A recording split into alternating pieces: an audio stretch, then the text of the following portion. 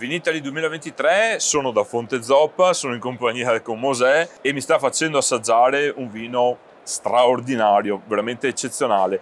Sapete che lui fa la ribona, beh, ne fa una versione che è questa, Asola, che fa finalmente in legno. Intanto vedo che è una bottiglia numerata. Sì, Mauro. Beh sì, purtroppo ne facciamo poche all'anno, riusciamo a farne solo 1207 bottiglie. L'uva si chiama Maceratino, Mauro, ma tu ormai la conosci, e la DOC si chiama Ribona, è un dialetto maceratese diventato nome di una doc, Ribona, due volte buona. due volte buona.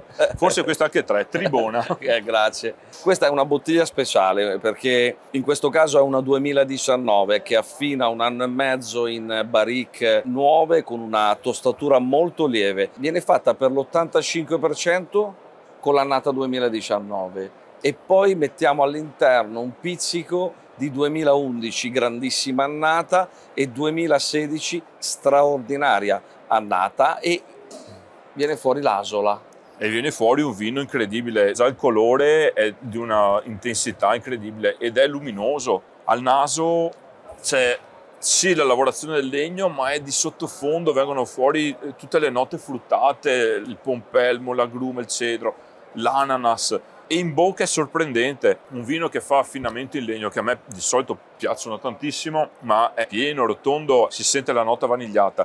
Ma qui la prima sensazione è la freschezza la fragranza e tutto il resto fa un po' da contorno, è piacevolissimo, vengono i brividi.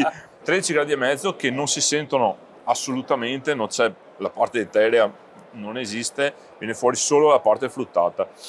Mosè, eh, complimenti. Io grazie so Mauro, grazie, grazie. Eh, io aggiungo solo una cosa alla tua splendida descrizione, che questo vino qua ha un ingrediente in più, che è il vento, perché ci porta nelle nostre vigne lo iodio dell'Adriatico e credo... È quello che dà la parte sapida. Esatto, molto molto sapido finale.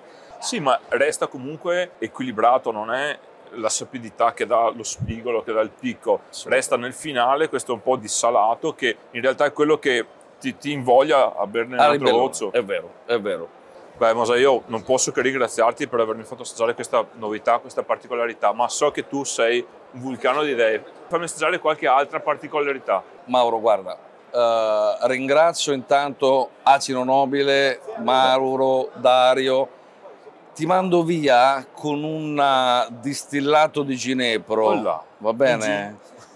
Un gin agricolo dove il ginepro nasce nelle nostre vigne. Ok, si chiama Gin Pepe. Pepe.